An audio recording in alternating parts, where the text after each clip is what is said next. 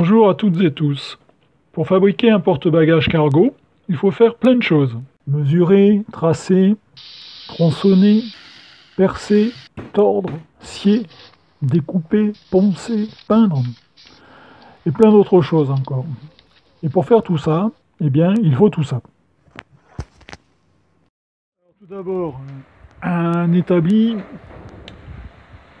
et euh, si on rentre dans le détail, une meuleuse avec euh, un disque euh, pour le tronçonnage du, métal, une, une, perceuse avec des forêts, une série de forêts en partant de 3 mm jusqu'à 14 mm,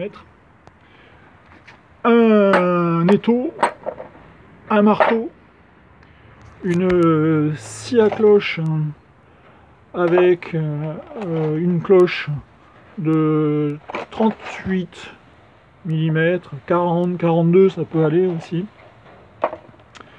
Une scie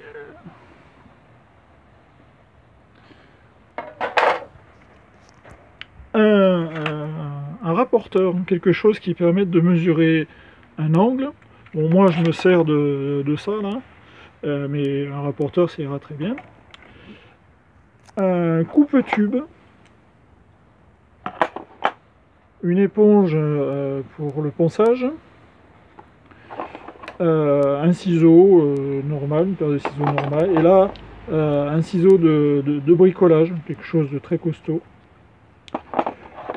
un cutter. Euh, ça, c'est pas tellement pour se servir de, pince coupante, mais c'est surtout cette partie-là là, qui, est, qui est intéressante. en fait, il faut une tige très solide. De quoi mesurer, donc un mètre, un mètre ruban.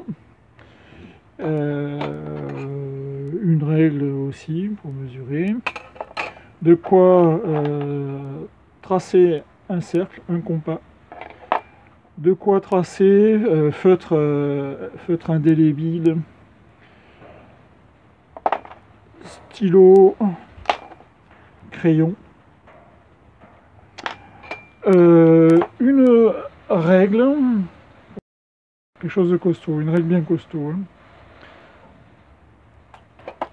Et comme on va faire des choses qui sont quand même un petit peu dangereuses parfois, il va falloir se protéger les mains avec des gants se protéger les yeux avec des lunettes et euh, se protéger un petit peu euh, les poumons avec un masque.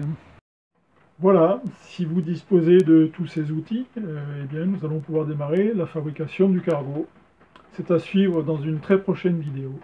A bientôt